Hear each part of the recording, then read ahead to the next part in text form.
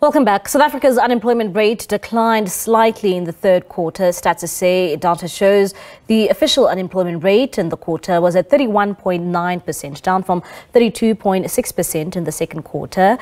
Uh, the unemployment rate, according to the expanded definition, which includes discouraged job seekers, is at 41.2%. Stats SA says these numbers reflect the first time employment numbers surpassed pre COVID employment levels. Most of the jobs created in the third quarter were in the formal sector, mainly in the services industries. The largest gains in employment were recorded in finance, followed by government, agriculture, and construction sectors. However, there were job losses recorded in the manufacturing and mining industries, which could be reflective of the negative impact of weak global demand, low commodity prices, as well as structural constraints like load shedding and logistics challenges the number of unemployed persons decreased by 72,000 to 7.8 million, while discouraged job seekers also went down. Post COVID recovery, that is what we're seeing, as well as growth in employment because we have surpassed uh, what we were having pre COVID times. Having said so, in the third quarter 2023, the biggest contributors were finance Finance contributed 237,000 jobs. It was followed by community and social services at 119,000 jobs. And indeed, we see agriculture at 61,000 jobs and construction, which has been struggling for quite some time, contributed 53,000 jobs. Economists say these numbers show that the labor market is resilient despite the challenges the economy is facing, including electricity supply constraints as well as logistics challenges. It's consensus expectation that the economy should recover in terms of growth. We're expecting 1.1% next year, rising to around 1.7 by 2025 and 1.8 by 2026. But all of this is premised also on the global economy as well as on how South Africa uh, sort out the issues of infrastructure inefficiencies, particularly load shedding, as well as um, uh, in, inefficiencies in, in ports and rail. Uh, but despite that, what we are seeing in terms of the labor market is that it has actually shown incredible resilience. As I have mm-hmm. indicated, that 2.5 million jobs created over the past eight quarters, uh, despite economic weakness. I think that is that is that is uh, to be appreciated in this kind of economic environment. COSATU says the high unemployment levels pose a threat to democracy. These unemployment levels must pose the greatest threat to our emerging democracy. And unless we're able to do something significantly and urgently to reduce the numbers of persons who can't get employment through no fault of their own, we're going to see a social crisis visiting itself on South Africa. Mm-hmm. We'd urge the government to take decisive and urgent steps to address this problem because it undermines people's dignity if they can't find employment and it visits poverty on many, many households who already have stunted levels of development as a result of the poverty levels in South Africa. Stats SA says young people remain the most vulnerable in the labor market, with youth unemployment in the third quarter standing at 43.4%. Gloria Sefakomosi, SABC News, Johannesburg. For more on this, so we're now joined by Labour lawyer Michael Bagraim, and he joins us via our video link. Uh, Michael, thank you so much for joining us here on uh, the late edition. Of course, we saw unemployment figures uh, decline slightly. Perhaps if you can just tell us uh, what does this actually mean uh, for our unemployment figures? Not very much, unfortunately. Um, I, I'm I'm actually very very disappointed. Uh, the reality is this is one of the first times I have to agree with COSATU um, in that we are in desperate stakes at the moment. It's almost half our working population, or half the population that should be working, um, are out of jobs. Mm. Uh, there's a structural problem in South Africa in that our government, which should be creating uh, an environment which is conducive to job creation, has done nothing at all. In fact, all they've done is they've acted as a handbrake to job creation. The rest of the world have far surpassed their COVID figures. We're now matching what we were just before COVID. And our economy, if you remember, just before COVID was in dire straits. Our unemployment was in dire straits. And now we move a few minor percentage points and people are applauding on the sidelines. Yeah. I think COSATU is absolutely correct. We're on the verge um, of people really saying that we've had enough. Um, and our government just doesn't seem to understand it. When you look at the age group 15 to 34, they're completely locked out of the economy. They have no opportunity whatsoever. And that is the bulge. The bulge of South African population is that age group, 15 to 34. It's the most volatile age group. That That's an age group that wants to get into the economy. People want to get married. They want to have children. They want to buy houses. They can do nothing like that.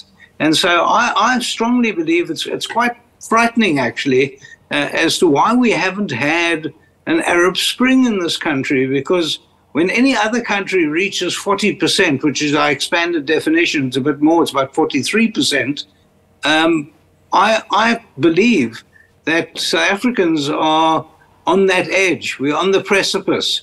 And our government can do some structural changes to our labor laws, to our labor environment, which would cost them nothing at all. I mean, all you have to do is take small businesses and uncouple them from the bargaining councils.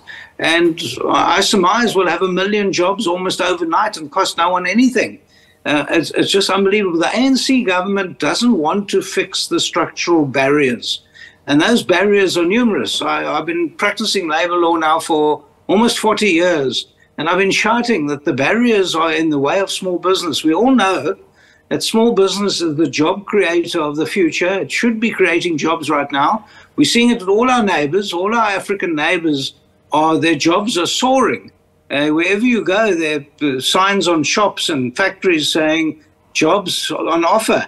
Um, over here, there are people walking in the streets with matriculation certificates and they can't get anything. Yeah. Um, I, I've spent quite a lot of time now speaking to the unemployed of South Africa, and they just feel they've been left out.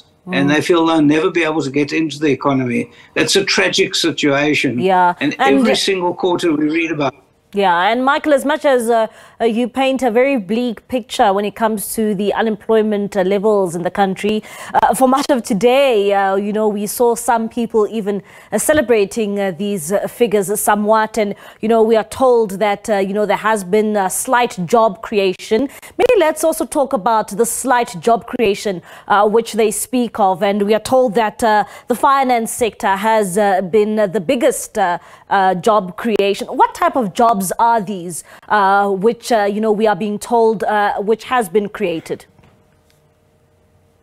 Well, they obviously the people with more education, more qualifications, um, history behind them. Those are the jobs that uh, are being created. And where are they being created? They're being created in the Western Province. And we've seen this in the last three quarters.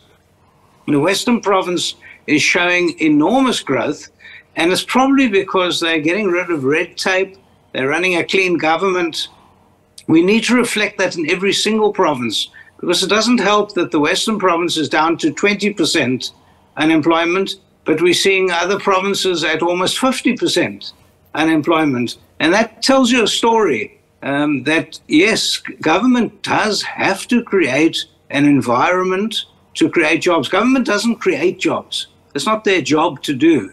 What they have to do is they have to open it up, open up the field so that the small businesses can start creating the jobs. And where are those jobs being created? In the Western province. Uh, they look at every single blockage um, and they're looking at the blockages. I know, I've been watching them carefully. Uh, and we could see it. We could see it in, in other provinces. They could do that. We have resilient people. We have a young population.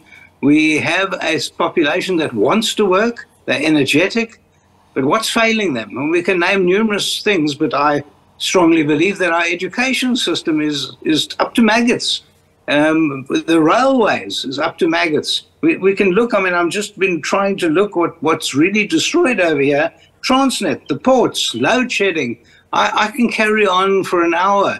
Um, we all know the problems. Every single one of us, you and I, know the problems. And government has to tackle those problems. We can't have families saying, no one in this family is working. And I'm hearing this all the time. Mm. It's a tragic situation, absolutely tragic. And I think it's going to take a change of government to change this because for 20 years we've been shouting, how come we are the worst unemployment in the world when we have all the resources? We have the facilities, the resources, the people, a young, active population. Our people are better than most other countries. What's going on? Why can't they find employment? Yeah. And I think it's the handbrake that's that's standing in the way. It's it's really not fair. I've got a job. I can't say, well, I've got a job. I'm I'm fine. Uh, let's forget about it because we're not living in an island. We're living together as one country. Yeah. And we can't have this anymore. South Africans have been failed by our government. Yeah. Does South Africa have the capacity? I mean, you, you keep on speaking about, uh, you know, we have fertile ground uh, to create jobs in this country. Is there capacity to create these much needed jobs in this country? Absolutely. Um, I, I, I merely need to quote um, our previous two, two previous ministers of finance Tito Mboweni. Um, he made a remark once at, on his State of the Nation, straight after State of the Nation address. He said, All we have to do is uncouple small business from big business, and we'll have a million jobs.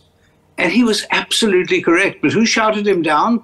The government. The ANC government shouted their own Minister of Finance down, and he hit the nail on the head. Tito Mboweni was a man who came from the labor movement. He was the labor minister. He was the governor of the Reserve Bank and then became finance minister. And when he made that remark, I said, aha, the pennies dropped. And no one listened to him. No one, Yeah. listened, no one cares. Um, and what's happening now is when we can't find jobs, we then look for scapegoats. So we make the equity legislation more harsh. Uh, we pick on foreigners. Uh, we do all sorts of weird things, but none of that is creating Yeah. jobs. It's no good looking at legislation that has already failed and then say, let's make it stricter. All right.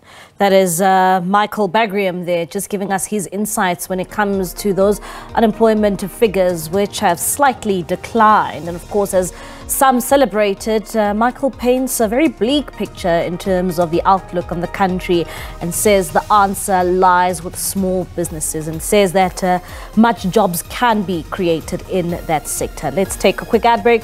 We'll have more news for you when we return. Stay tuned to SABC News.